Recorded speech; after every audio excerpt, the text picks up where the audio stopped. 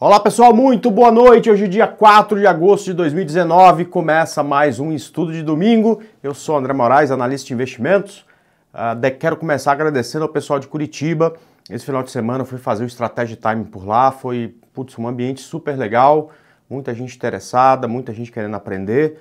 Então, pô, foi, gostei demais. Espero que todo mundo tenha gostado também. Deixo a todos aí um grande abraço, tá? Próxima parada daqui dois finais de semana aqui em São Paulo tá? Ainda tem cerca de 20 vagas. Se alguém se interessar, tem curso aí para fazer por todo o Brasil. Dá uma olhada no primeiro link aí da descrição de, do vídeo. Tem aí o escopo completo do curso e os lugares onde a gente vai estar nesse segundo semestre, perfeito? Bom, vamos falar de mercado. Nós tivemos uma semana passada extremamente complicado, ficou todo mundo esperando a quarta-feira.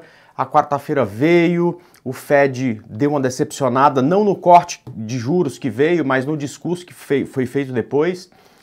Uh, e, por sinal, eh, depois disso, acabou, fechou o mercado, o Copom cortou lá ponto .50 no juro aqui no Brasil.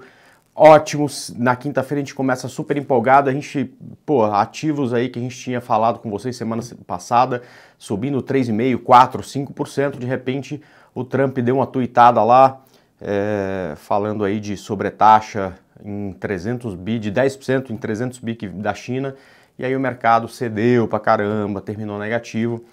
Uh, Sexta-feira um pouco de recuperação. Além disso, muitos balanços, balanços que decepcionaram, como de Itaú, como de Vale, balanços que vieram acima do esperado, como por exemplo de Petrobras, tá? É, e fez o mercado não sair daquela longa consolidação, tá? Então eu uh, até quarta-feira tinha muitos ativos para falar para vocês e aí com esse vai e vem de mercado, alguns ativos ficaram mais feios um monte de ativo, mais de 60 ativos soltando balanço a uh, semana que vem. Então a gente vai ser econômico nas indicações da semana, tá bom? Então para a gente não perder tempo, para ser produtivo, dá uma olhada. Ué. Eita. Espera aí, deixa eu... A tela que eu coloquei aqui não é a tela... Quer dizer, a tela tá azul, não tem nada, né? Vamos então... Uh mudar essa tela aqui que não faz sentido, tá? Vamos lá. Mais captura de tela. Ok.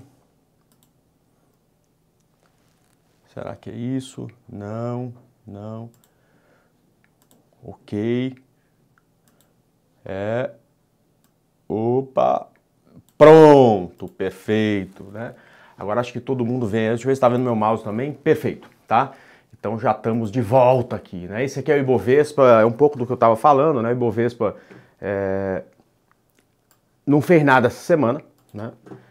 É, eu tinha conversado com vocês aqui que essas correções das quatro pernas de altos que a gente teve depois uh, da greve dos caminhoneiros tiveram aí, uh, na maioria delas, 30 pregões andando de lado a gente já tem aí 18, né? Se a gente pegar aqui o topo até agora, a gente já tem 18. A semana nossa foi isso aqui, né?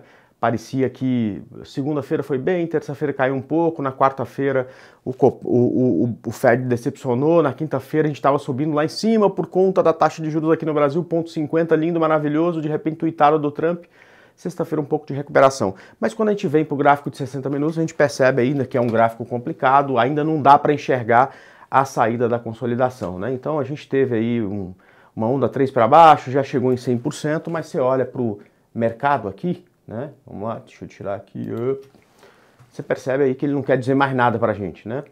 Quem sabe eh, na semana que vem isso se resolve e ela, ele consiga subir. É, a partir de semana que vem a gente já tem o Congresso voltando, existe uma chance grande de ser aprovada a reforma da Previdência, segunda votação na Câmara semana. Se isso acontecer, espero que a gente saia dessa consolidação. Se tiver que subir, que seja logo. Se tiver que corrigir um pouco mais, que seja logo.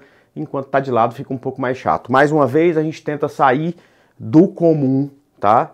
Para pensar em operações, é, se esquecendo um pouco das blue chips, porque elas não têm aí um, um, um fit tão legal com o mercado de alta como a gente gosta tá? Eu tinha separado muitos ativos, muitos deles soltam balanço essa semana, então deixei de citá-los aqui, que é, por exemplo, JHSF, que solta balanço na quarta, pode ser que na quinta-feira a gente fala sobre ela. TOTOS também solta balanço na quarta, Alpa 4 solta balanço na quarta. É, então vou deixar de falar delas aqui no estudo domingo. Quem sabe durante a semana a gente fale sobre elas. Vamos ver aqui o que não tem balanço e que tá bonito, tá bom? Começando com Anima, é, a gente já conseguiu aí é, um, um, bom resultado em Crote 3, que do setor andou bem, tá?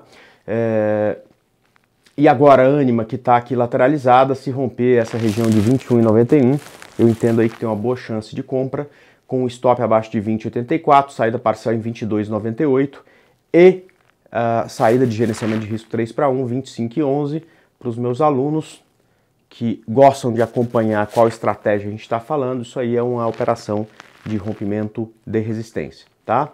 Aqui em BRF a gente tem aí um, também uma operação de rompimento de resistência. Esse é, é, é a operação que não tem essa coisa de que essa aqui vai dar mais retorno, né? Ou essa aqui vai dar menos, né? Toda operação quando começa é igual, tá? Mas o gráfico mais bonito que eu, que eu, que eu enxergo hoje no mercado é, exatamente de BRF, o gráfico que atende minha, as minhas estratégias. Né? Então, 30, rompimento 35, 32 tem uma bela possibilidade, saída parcial 37, 80, saída de gerenciamento de risco 3 para 1, 42 e 77, stop abaixo de 32 e 83 também operação de rompimento de topo. Tá? Uma terceira com a mesma consideração. Eu vou desconsiderar uh, subida e queda, né, esses pavios que ficaram aí para cima, porque isso é loucura de um mercado que muitas vezes tem pouca liquidez e aí sai algum tipo de notícia, o mercado reage é, de forma bagunçada, né? Então a gente pensando é, no mercado fora esses dois candles é uma entrada rompimento no rompimento de 23,81 com saída parcial em 24,93, saída de gerenciamento de risco 3 para 1 em 27,18 e stop abaixo de R$ 22,68, tá? Um ativo que tem a estratégia de correção nas médias móveis é JSLG3. É um ativo que eu gosto bastante de fazer trade, tá? No rompimento de 17,81 veio uma boa possibilidade com parcial em 18,95. Final, aliás, gerenciamento de 3 para 1, 21 e 23, stop abaixo de 16 e 67, tá bom? Uh, depois a gente tem Embraer, isso aqui é repeteco da semana passada, ela não foi para lugar nenhum, aqui a gente está pensando numa reversão de tendência. Superou 19,77, uma boa possibilidade, stop abaixo de 18,69, parcial em 20,84, final aqui em 23 reais. E para finalizar nosso estudo, Fleury, mesma coisa, né? Aqui esquecer as maluquices aqui de, de, de ativo eh, de pouca liquidez, esquecer a maluquice aqui que foi exatamente o, o, a tuitada do Trump, tá? Então não levando isso em conta, a gente vai é, esquecer dessa mínima que fez aqui, colocar o stop abaixo desse fundo, ou seja, stop abaixo de 22,90 desde que dê entrada no rompimento de 24,13, parcial 25,36 e gerenciamento de risco 3 para 1 em R$ 27,82, tá bom? Como eu falei, tem outros ativos que estão interessantes, porém ainda vou soltar balança essa semana. Eu preferi deixar de fora e ser mais econômico. Vamos torcer para que semana que vem, tomara que com o mercado já em tendência, a gente consiga falar de mais ativos para vocês. Fechado? Toma bastante cuidado com o ativo que você está posicionado ou que quer se posicionar. Tem muito balanço para sair, dá uma pesquisada quanto que quando que a empresa que você está posicionado solta balanço.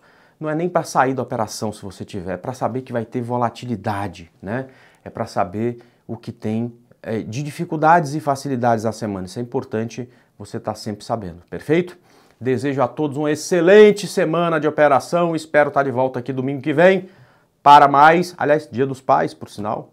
É, então, espero estar aqui domingo que vem para mais um estúdio domingo. Um abraço e até lá.